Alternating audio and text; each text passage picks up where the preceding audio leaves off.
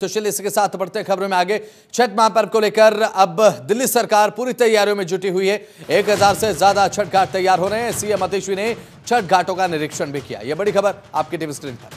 छठ महापर्व को लेकर दिल्ली सरकार तैयारियों में नज़र आ रही है। एक हज़ार घाट यहाँ पर तैयार किए गए हैं ताकि जो छठ पर्व है, पूरे धूमधाम से मनाया जाए राजधानी दिल्ली में। तो सीएम अतिशी ने छठ के पर्व से पहले जिन घाटों पर पूजा अर्चना की जाएगी और पूजा अर्चना करने के दौरान जिन घाटों पर एक जमावड़ा आस्था का देखने को मिलेगा, उन घाटों का निरीक्षण भी किया, जायजा भी लिया और व्यवस्थाओं को भी चेक किया कि किस तरीके से व्यवस्थाएँ यहाँ पर श्रद्धालुओं के लिए की गई हैं। अगर बड़ा जन सैलाब उमड़ता है तो किस तरीके की व्यवस्थाएँ, किस तरीके का प्रबंधन यहाँ पर देखने को मिलेगा। इन तमाम बातों का जायजा लेते हुए मुख्यमंत्री अतिशी नज़र आई है उस समय की तस्वीर भी आपको दिखा रहे हैं जब सीएम अतिशी जायजा लेने के लिए छठ के लिए तैयार किए गए घाटों पर पहुँचे।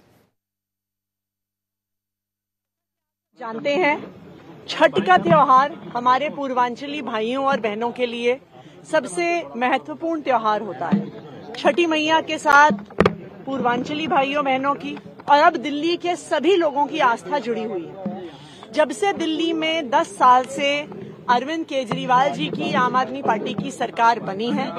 तब से जो सम्मान छठ के त्योहार को दिया गया है, शायद इससे पहले कभी नहीं दिया गया था।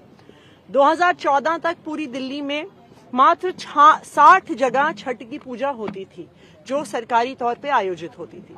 लेकिन मुझे खुशी है इस बात की कि आज हज़ार से ज़्यादा लोकेशंस पर दिल्ली सरकार द्वारा अरविंद केजरीवाल जी के मार्गदर्शन में ऐसे शानदार छठ घाट बनाए जा रहे हैं। दिल्ली के अंदर छठ महापर्व की तैयारियाँ शुरू हो गए हैं। तीन दिन का ये जो बड़ा छठ महापर्व है, वो दिल्ली एनसीआर के अंदर मनाया जाता है और दिल्ली सरकार की तरफ़ से क्या कुछ व्यवस्थाएँ दिल्ली के अंदर की गई हैं, इसका जायजा लेने के लिए दिल्ली की मुख्यमंत्री आतिशी जो हैं, वो आईटीओ पर स्थित छठ घाट पर पहुँची हैं। हालाँकि दिल्ली सरकार की तरफ़ से एक हज़ार से ज़्यादा जो घाट हैं, वो दिल्ली के अंदर बनाए गए हैं। निश्चित तौर पर कोविड काल के बाद से यमुना के अंदर छठ पर्व मनाने पर पाबंदी लगा दी गई थी। हालाँकि अब जो है, दिल्ली के अंदर हर साल हम देखते हैं कि जो आर्टिफिशियल घाट हैं, वो दिल्ली के अंदर अलग अलग कोनों में बनाए जाते हैं। एक हज़ार से ज़्यादा घाट बनाए गए हैं, जिनका निरीक्षण करने के लिए दिल्ली की मुख्यमंत्री आतिशी पहुँची हैं। आईटीओ पर जो हाथी घाट पर छठ घाट बना हुआ है, उनके साथ आम आदमी पार्टी के बुराड़ी से विधायक और पूर्वांचल के एक बड़े नेता के रूप में जाने जाते हैं। संजीव झा।